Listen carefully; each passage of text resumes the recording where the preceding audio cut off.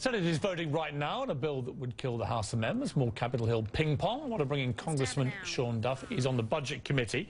Uh, welcome to you, uh, Congressman. Tell me, what is your view about what is happening right now? Are you proud of the fact that the uh, renegade element, as some are calling it, the Republican Party, leading uh, us all into a government shutdown? Well, a couple of things, Piers. First, I want to I want to keep the government open. Uh, but we, uh, we've moved over the last week. We first had a defund uh, Obamacare bill. Uh, we then moved to a delay Obamacare bill. And tonight, uh, we voted just on one small section of Obamacare. We said, let's delay the individual mandate. The president already delayed the employer mandate. Let's just treat uh, big business the same as our individuals in America. We did that simple thing. And then we said, well, let's have the administration join us in Obamacare. If they think the bill is so great, uh, we shouldn't just have uh, uh, congressmen and women in Obamacare. We should have the administration right, but, with us. But with the greatest, so, with so, the greatest so, respect, though, given that not only the President of the United States today has made it clear that he was re-elected and everyone had their chance then to, to, make a determination about his key policy of Obamacare. But John Boehner said after that election was won by Barack Obama that it was a legal mandate from the electorate. That's why he got re-elected. And obviously you couldn't then just go against it. And it, suddenly, well, apparently it's okay for you guys to just paralyze the government of the United States and make the whole world laugh at you. And I say to you again, do you take pride in what you guys are doing tonight? Because it is a ridiculous ridiculous state of affairs, isn't it?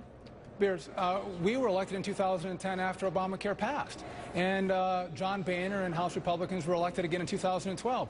But I want to go back to a point you made. Uh, this bill passed tonight uh, with bipartisan support. Nine Democrats joined us in passing this bill to send to the Senate, and some of the most conservative members, uh, Michele Bachmann, Steve King, Louie Gohmert, uh, they didn't vote for this. So this is kind of a middle part of the conference that passed this bill and sent it to the Senate because it's really reasonable.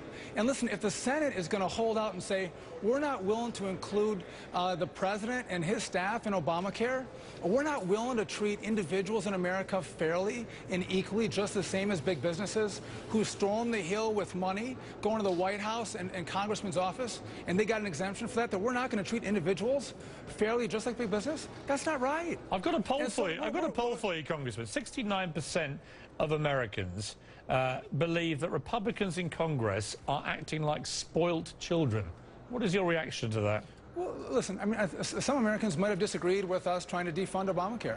But tonight, Piers, do you disagree that, that the administration shouldn't be in Obamacare? They think it's a great law. You have to agree they should be in with us. No, no, That's I one know. simple part. No, no, but then, what but then I also, believe, what do, I you, believe, do you think that, no, Piers, but but what is worth, that, Congressman, what I believe is, of course there are issues with Obamacare. It's a massive program, and those issues should be explored and debated, and I'm sure it will be amended several times. However, the idea though, that a small group of Republicans have decided to simply shut down the government over this no, is a shameful dereliction of your duty.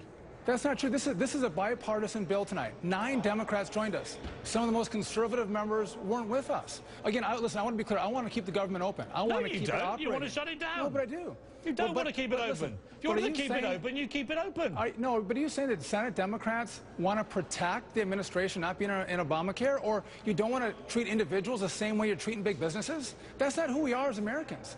Um, these are very simple, small reforms. I don't think reforms. you'll find that most Americans think you're right to us. shut down the government. Harry Reid could join us. And listen, this is very simple. It is very simple. You are right. shutting down the government with no, your no, no. antics. By, listen, Piers, bipartisanship tonight.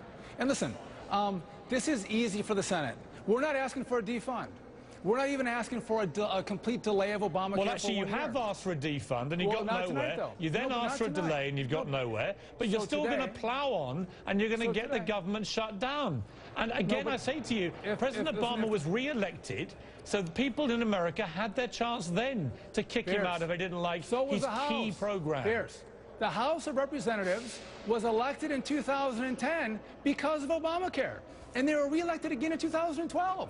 This is, I mean, this is what we're here to do is have a dialogue. And if the president is out golfing over the weekend, you even mentioned this, Yeah. the president should engage. He should talk through this stuff. Will So you says, be out of "Listen, guys," interest? Will you be? says, "Listen, will you be furloughing this, your? Will you be furloughing your talk- salary? Let's talk with each other. Listen, remember in his, remember in the State of the Union, he said, "I'm willing to open my hand to our enemies if they'll unclench their fist." All right, let me ask He you said one final up his- question. We're extending our hand. Congressman, one final, one final question, Congressman. Will you be Yes. furloughing your personal salary throughout this difficult period, Uh, as so many other people are having their salaries furloughed? Yes or no? I'm on, I'm on legislation to, uh, to uh, actually have all members of Congress furlough their, their pay, but my hope is still that we keep this government open. So will you be I donating your Senate- salary- will you be donating your salary to Senate charity? does the right thing tonight, Piers, and they keep the government open for a small, simple change of including the administration in Okay. Obamacare and, uh, and But just to and, uh, confirm, you will be individuals. Just to confirm, you just will be the same. Just to confirm, business. you will be. And if they do that, we don't have a shutdown. Congressman, just to confirm, you will be keeping your salary though through this period if the No, well, government I- shuts down.